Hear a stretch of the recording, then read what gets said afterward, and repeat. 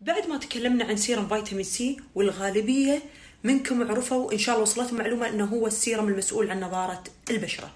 نيجي حق السؤال اللي بعده اللي كثير منكم يتساءل أو يسأله. ما هو التركيز اللي نبدي فيه عشان تستفيد بشرتنا؟ أو ما هو أفضل تركيز من سيرم فيتامين سي؟ لأن في تراكيز نفس ما تعرفون. في خمسة في أقل من خمسة في 10 في 15 و20 و30 وهكذا. طبعا دائما أقول لكل قاعدة شواذ. طبعا هو كل ما كان أعلى والبشرة تحمله زين. ولكن أنت مو معناته أنت بشرتك ممكن تحمل 10 و30 أنت بشرتك عادية غيرك بشرتها مختلطة وغيرك بشرتها حساسة.